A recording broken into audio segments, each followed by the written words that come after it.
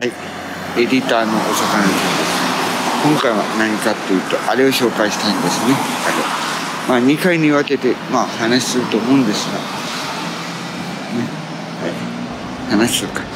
撮ったんですけど、まあ、スイスイフトです。スイフトのハイブリッド MX というグレードを見てきたっていう、タスだけの動画になります。ただ、ね、実際言えば最初は外観だけ。ということで、まあ、ツートンは、まあ、あるんですけど、まあ、水、水筒に関して言うと、まずガソリンと、あと、ハイブリッド。ハイブリッドはマイルドハイブリッドですね。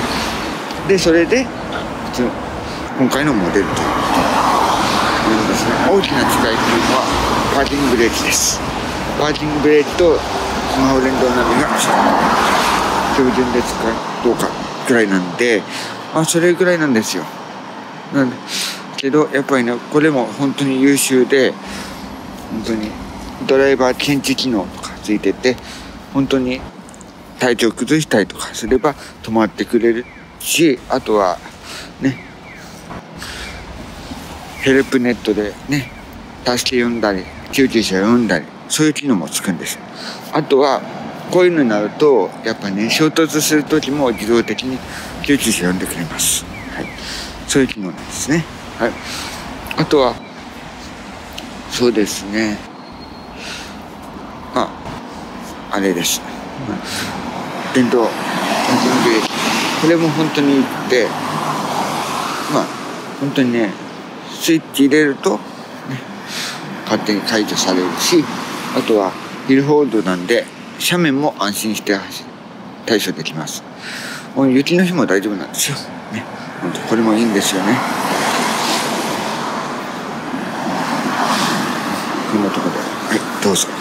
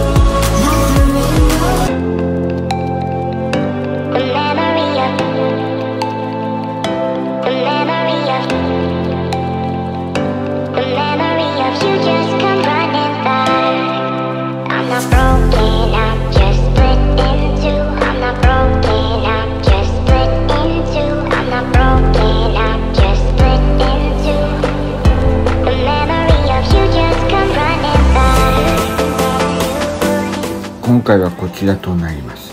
まあ、ジャパンモビリティショーでもね、車を見させてもらったんですけど、ついに発売になりました。はい。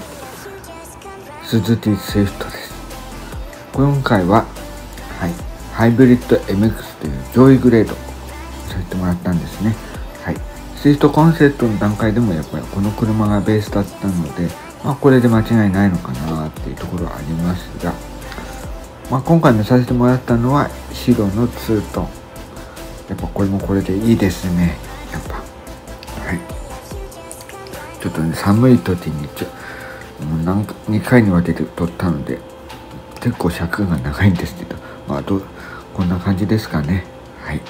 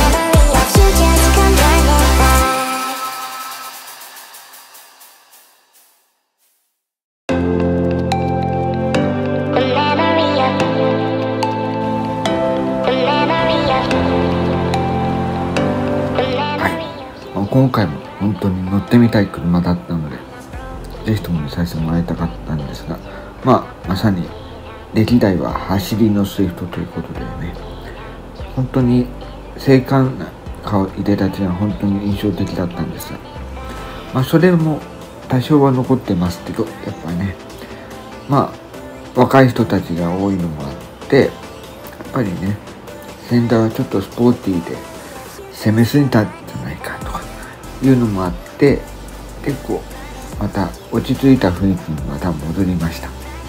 これはこれでいいなという印象もあるしそうしておきながらやっぱスポーティーいでたちはやっぱスイフトですね。本当そういう親しみやすいながらもスポーティー。それが今回のモデルだったんじゃないかなというところ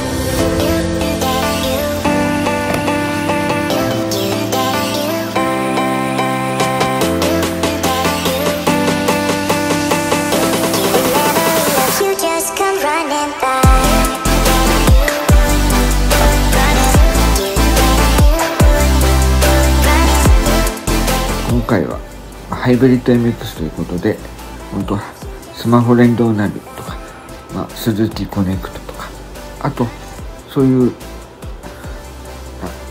テレマティックサービスとかねあとはねドライバー側についたカメラで、まあ、ドライバーのね状態ですね。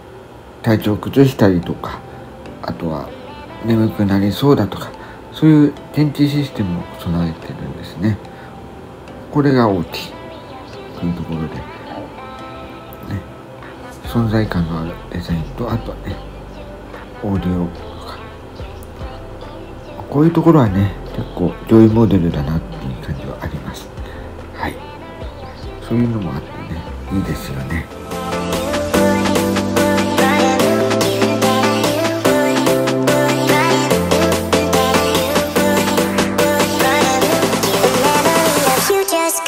Running by.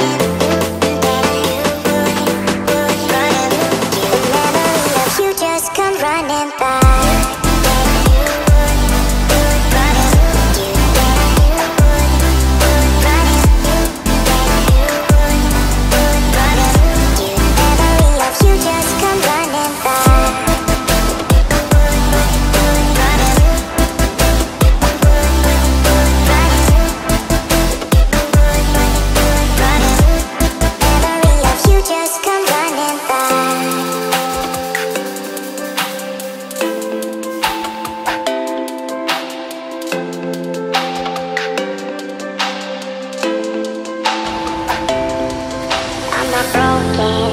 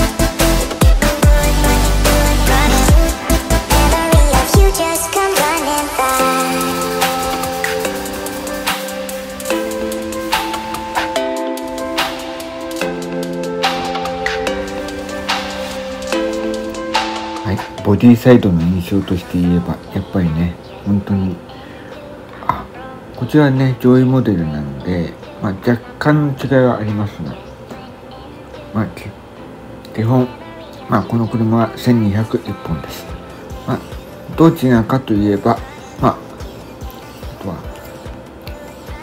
あれだけなんです。ハイブリッドじゃないかどうかあとはマニュアルじゃないかどうかあとはサイドブレーキが電動じゃないかどうかくらい結構細かな違いくらいです。だから基本これこんな感じだと思えばまあ悪くはないかなと。いうところでもちろんねまあ通知セーフティサポートのね機能もついててまあサポーカーにもなります。それでもってね ACC とかついてたりとかまあマニュアルでも免税額とかまあいろんなことはあるんですけどこうしたね、ところはやっぱね、鈴さんだなという感じはありますね。はい。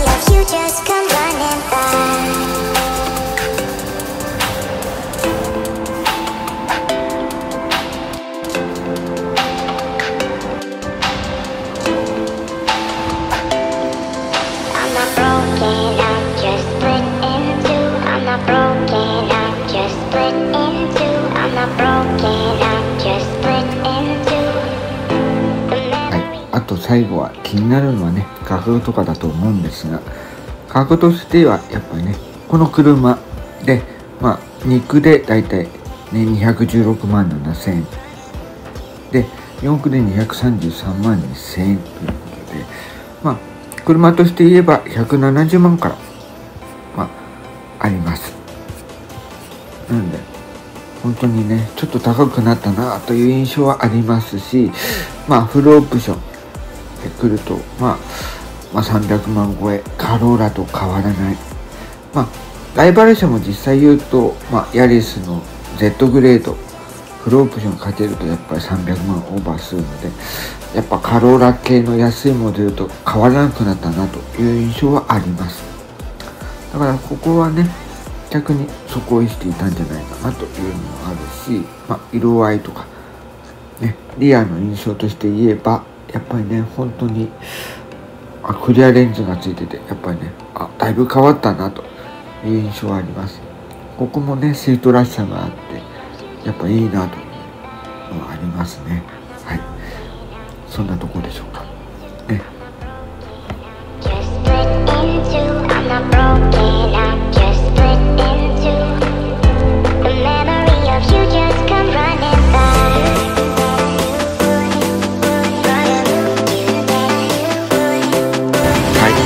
最後まで見ていただきありがとうございました。もう本当に尺がえらい長かった、申し訳なかった。とても素敵な車をさせてもらえたなと思います。うん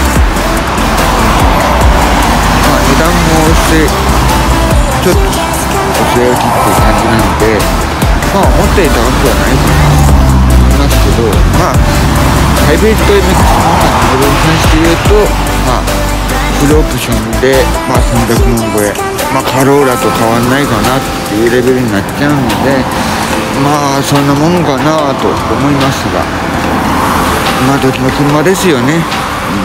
うん、でも、結構ダウンサイジングとか、まあ、自分もそうなんですけど、やっぱ、うん、アルトとか、ね、ワゴンはいいや。そんな乗りたないわ。スペシャルもいいけど、まで削りたくないなとか、そういう人は結構これいいんじゃないかなって思います。本当にそういうところはあるしね。普段使いもできるから、本当に悪くはないと思います。これとチャンネル登録しててありがたいです。では、さよ